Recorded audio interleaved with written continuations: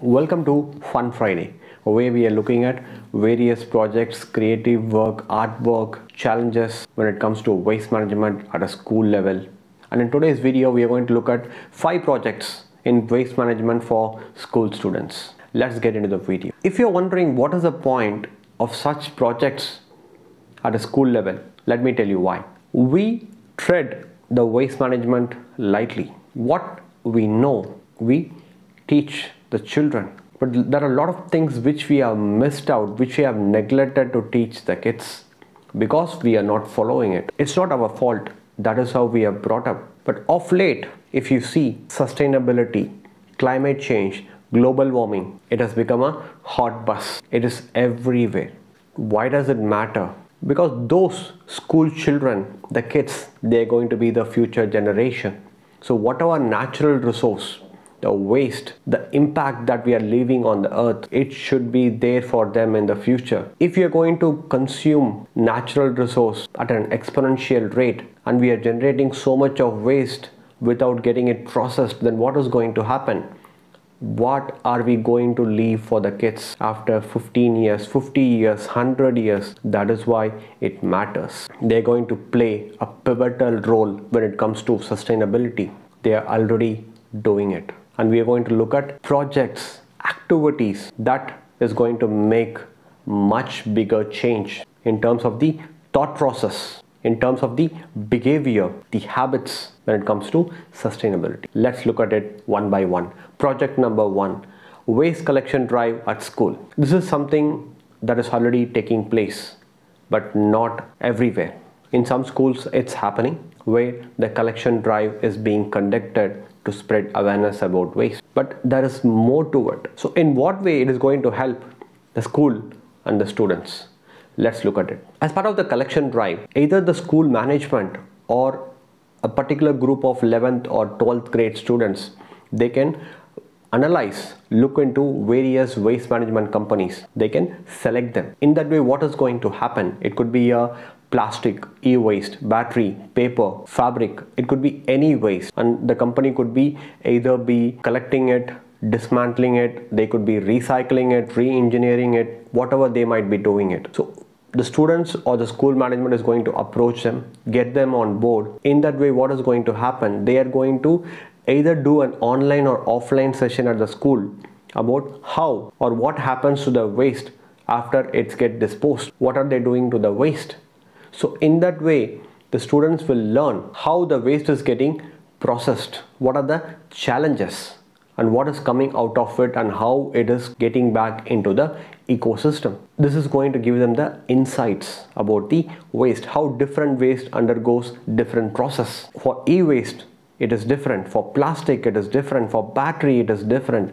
So in that way, they're going to understand how waste is unique it's different. They're not similar. So that is going to be the first step. So once they know what is happening how it is done then through the collection drive they are going to contribute collect the waste and deposit it which is going to get picked up by these waste management companies. And in return the students are going to get a certificate of participation or it could be a gift voucher depending on what kind of arrangements have been made. One more outcome which we have seen through these collection drivers that students are able to differentiate the waste. They know that the waste has to get segregated, then only it can get processed. This is what we call segregation at source. Because we are not doing segregation at source, millions of tons of waste is left out there unprocessed. So this is going to be one of the outcomes which the students are going to learn through such collection drive. And after that, they are also going to learn which waste has value in it and which doesn't have value in it. So the disposal behavior is going to change according to that. So this is about waste collection at school. Project number two, waste to product. As part of the waste collection drive, we saw the outcome. They are able to differentiate the worthy and worthless waste. And what do you think is going to happen to the worthless waste? They can't ignore it. Something has to be done to it. And what about the worthy waste? Even they can be given a creative life to it.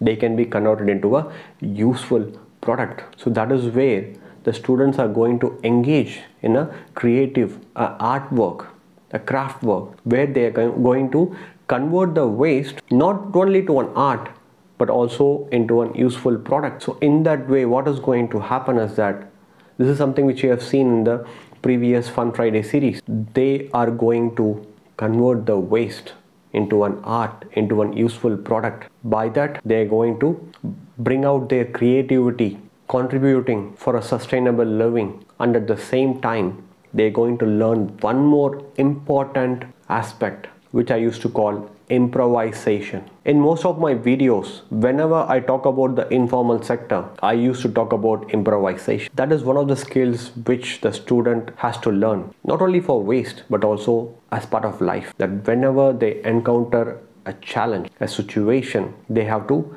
adapt, pivot, improvise on spot to come up with a solution. So that is what they're going to learn through these artwork. That is a set of waste in front of them. They're going to apply the skill, the creativity to come up with a product out of it. So such improvisation with a given set of constraints that is going to enhance their knowledge level, their skill.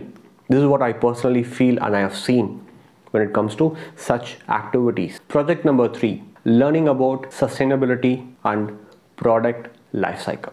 The students would have learned about physics, chemistry, maths, biology at a concept level, at a theoretical level, and some form of practical session. How about if we take a step further where they're going to learn about whatever products that they are using, right from a pencil to an eraser to a notebook to a school bag to an uniform, how it is getting manufactured. It might be difficult to make them visit factory, a manufacturing unit. Not a problem at all. We live in a digital world. If they can't go to the manufacturing unit, we can bring the manufacturing unit to the school.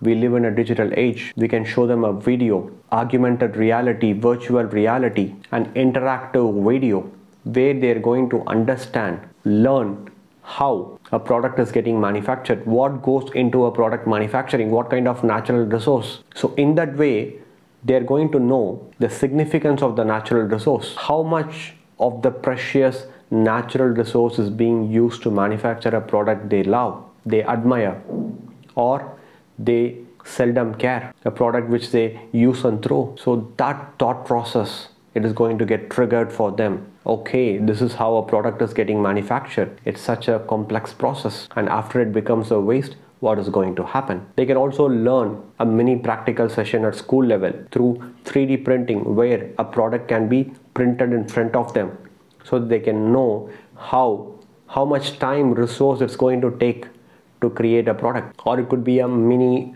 injection molding so they can know how a product is made. And after it becomes a waste what is going to happen to it? So it is going to be an interactive learning session where they're going to learn about a product life cycle in terms of sustainability. And that is going to help them learn. And they in turn they're going to teach to the parents and to the community what has to be done. Project number 4 entrepreneurship. It could be for profit or not for profit so where the students they're going to come up with it could be a business idea. But when it comes to waste management, what is going to be the only business model which they can think about? Collection. Because that is something which they can easily leverage, they can engage when it comes to waste management. So where they're going to collect the waste from various sources. It could be in their uh, neighborhood, community, or from the co-students and whatever waste they have collected they are going to sell it to authorized waste management company and they are going to make money out of it. In that way they are going to learn the fundamentals of business. Because this is not a traditional business. In a traditional business you are either offering a service a product but here it is the exact opposite. The waste is getting purchased or it could be a donation and it is getting picked up and from there it is going to a waste management company. So they are learning how to convince the customer to give the waste. They're going to explain to them how the waste is going to get treated what are they going to do with the waste. So they are learning business development customer engagement marketing and through the sale of the waste they are learning how to make revenue financial management and how to sustain and grow the business. And if you're wondering, a particular set of students they start the business and they pass out and they move on and the business dies. Need not be the case. It could be in a form of a club where various students can be part of the club where they are going to do as a social entrepreneurship or as a business.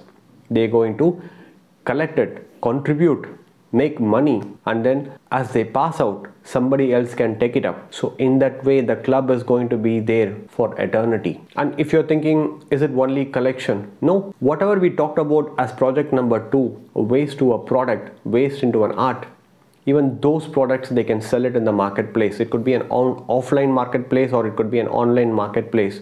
They can make money out of it. And whatever money they are getting they can contribute more towards sustainability. So this is about entrepreneurship. Project number five, internship. Internship is not just for college students, even for school students, it's already happening. We have done it where the 11th or 12th grade students as part of the CBSE syllabus, they're going to get trained, mentored under an expert in an organization or it could be in a manufacturing unit or in and waste management company. That is going to be a fixed assignment in discussion with the school and with the organization, with the mentor. So this is what they're going to learn as part of this internship. So they're going to get exposed to real life problems which the business encounters and how they're addressing it and what they can learn from it. So in that way, the students, they're trying to apply the theoretical knowledge into a practical scenario. It need not be a right answer, but they are bringing out their inner thought process, coming up with a solution, an assignment, a practical solution. So in that way, they are